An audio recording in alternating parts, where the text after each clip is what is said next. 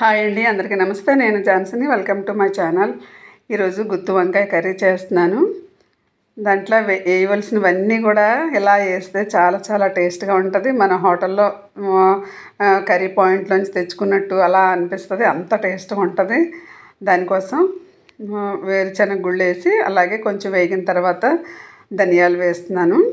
ధనియాలు కూడా కొంచెం వేగిన తర్వాత మూడు లవంగాలు మూడు యాలకులు చెక్క వేసి ఇవి కూడా దోరగా వేయించుకోవాలి.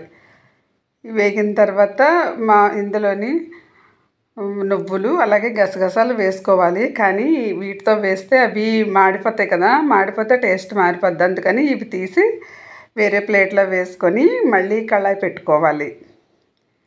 ఇప్పుడు ఒక స్పూను గ- గసగసాలు ఒక స్పూను నువ్వులు వేసుకొని దోరగా సిమ్లో పెట్టుకొని వేయించుకోవాలి. వాటితో వేస్తే శుభ్రంగా మాడిపోతాయి. ఎందుకంటే వేడిగా ఉంది కదా కళాయి తొందరగా మాడిపోతాయి అన్నమాట. ఇంకా ఒక స్పూను. అది ఒకటి ఇది ఒకటి స్పూన్ వేసాను. ఇది కొంచెం దోరగా వేయించుకోవాలి. ఇది కూడా అయిపోయింది. చూడండి ఇలాగా ఎలా వేగిపోయి కదా ఇవి కూడా తీసుకొని ప్లేట్లో వేసేసుకొని కొంచెం చల్లారిన తర్వాత మిక్సీ గిన్నెలో వేసుకొని గ్రైండ్ చేసుకోవాలి. ఇదిగో గ్రైండ్ చేసి చల్లారిపోయినాయి కదా గ్రైండ్ చేసుకొని చేసుకోవాలి. ఇందులోనే కారం ఒక స్పూన్నర కారం అలాగే పసుపు ఒక హాఫ్ టీ స్పూన్ పసుపు సాల్ట్. టేస్ట్కి సరిపడే సాల్ట్. కారం సాల్ట్ మీ ఇష్టం ఎంత తీసుకోవాలంటే అంత తీసుకోవచ్చు. ఇవి వేసుకొని గ్రై మిక్సీ చేసేసుకోవాలి. మిక్సీ పెట్టేసుకొని చూద్దాము. ఇదిగో చూడండి ఇలా వచ్చింది కదా. ఇప్పుడు ఇందులోనే ఆనియన్స్ వేసేసుకుందాము. ఆనియన్స్ అలాగే అల్లం వెల్లుల్లి పేస్ట్కి అల్లం వెల్లుల్లి కూడా వేసుకోవచ్చు. నా దగ్గర పేస్ట్ ఉందని అల్లం వెల్లుల్లి పేస్ట్ వేసాను. ఇప్పుడు మళ్ళీ ఇది గ్రో ఇది గ్రైండ్ చేసుకుందాం. ఇందులో ఒక చిన్న రెండు టమాటాలు అన్నీ వేసేస్తే నలగవని అని అందుకని ఒకటి వన్ బై వన్ వేస్తున్నాను. ఇప్పుడు మొత్తం పేస్ట్ తయారైపోయింది. పక్కన పెట్టేసుకుందాము. ఇప్పుడు వా గుత్తి వంకాయ కట్ చేసుకోవటానికి వాటర్లో సాల్ట్ వేసాను.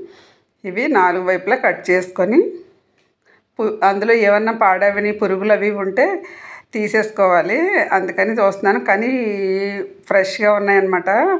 ఎక్కడ పుచ్చులు అవి లేవు. చాలా బాగున్నాయి. ఇలాగే కట్ చేసేసి అన్నీ కూడా కట్ చేసేసుకుందాం ఇలాగా. అలాగా వాటర్లో వేసుకుంటే చేదు రాకుండా ఉంటాయి. ఇప్పుడు కళాయి పెట్టుకొని ఆయిల్ వేసుకుందాము. గుత్తి వంకాయ కర్రీ చాలా చాలా టేస్ట్గా ఉంటుంది కదా.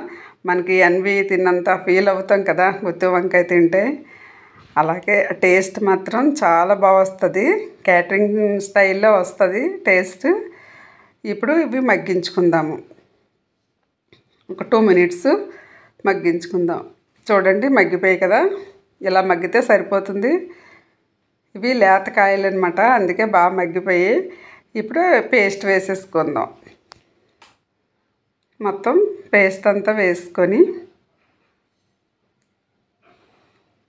కలిపేసుకోవాలి. ఇలాగ ఆయిల్లోని చక్కగా ఫ్రై చేసుకుని చేసుకోవాలి. ఇప్పుడు ఇందులోని మనం వాటర్ వేసుకోవాలి కొంచెం. చింతపండు కూడా చాలామంది చింతపండు వేసుకుంటారు కొంతమంది వేసుకోరు. కానీ వంకాయలో చింతపండు వేసుకుంటేనే ఒకవేళ వంకాయలో చేదేమైనా ఉన్నా సరే ఈ చింతపండు పులుపు వేయడం వల్ల చేదనిపించదు కానీ వర్షాలు పడుతున్నాయి కాబట్టి చేదేమి ఉండవు కానీ కొంచెం పులుపు మాత్రం వేసాను నేను. ఇప్పుడు అదిగో పులుపు వేసాను. ఇది కూడా కలిపేసుకొని మగ్గించేసుకుందాం. మూత పెట్టేసుకుందాం. అంతే ఒక ఫోర్ మినిట్స్ మగ్గించాను. చూడండి అయిపోయింది. ఆయిల్ అంతా పైకి తేలింది కదా. కొత్తిమీర కలిపేసి కొత్తిమీర వేసి నీట్గా కలిపేసుకొని సర్వింగ్ బౌల్లో సర్వ్ చేసేసుకోవటమే. చాలా టేస్ట్గా ఉంటుంది ఇంగ్రీడియంట్స్తో చేసుకుంటే. ఒకసారి మీరు కూడా చెయ్యండి. అంటే మీరు కూడా చేసుకుంటారు. వేరే వేరేగా చేసుకుంటారు కదా.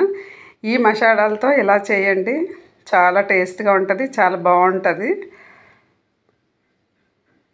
బాగుందా కర్రీ? చాలా అంటే చాలా బాగుంటుంది చూడండి ఆ వీడియో నచ్చిందా? ఇదిగో చూడండి నా వీడియో నచ్చితే లైక్ చేయండి సబ్స్క్రైబ్ చేయండి. Thank you thank you for watching.